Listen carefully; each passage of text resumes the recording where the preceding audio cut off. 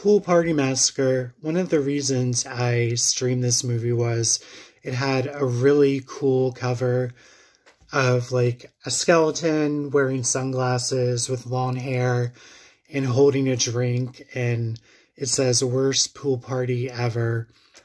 Um, so right off the bat, this is a uh, low budget indie type movie, uh, which doesn't bother me. You know, I've said it before about indie movies. Uh, basically, you have this nice girl who lives nearby and is invited to this rich bitch's pool party with her other dipshit friends. And, you know, they have like this funny banter between them. And unknown to them, there's a maniac uh, slasher with uh, various tools and whatnot, hunting them down one by one. And I thought it was okay for what it was. It wasn't a high budget slasher, but you could tell that they had a lot of fun making it. And I think it was a step up from a similar movie called Spring Break Massacre, uh, which again, that movie, they looked like they had a lot of enthusiasm. And it was just really not the greatest movie. It didn't have the greatest script and they did the best they could with the budget. But I think Pool Party Massacre was slightly better than Spring Break Massacre.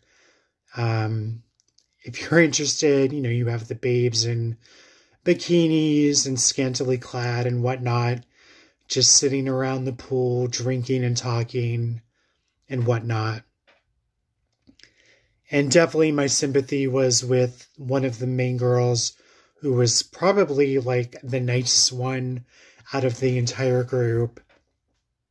She would talk back to the rich characters who would just kind of like make fun of her and blow her off and just uh, treat her like a piece of shit. So you get a lot of satisfaction uh, as the movie goes on uh, with the slasher.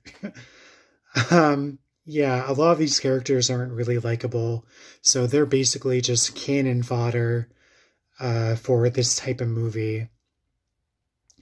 And I think I read they're going to make a sequel. I'd be interested in what kind of angle they would do for a sequel to this type of movie. Uh, it's obvious they had a lot of fun on this movie, and I'd be willing to see what a sequel is like in the future. I think I streamed this movie on Tubi. Uh, go ahead and give it a watch if you're in that kind of spring break horror movies or horror movies with like college aged kids. It fits in uh, to that genre, I think. So that's it for now. I enjoyed this movie. Let me know what you guys think, and I'll catch you on the flip side. Thanks for watching.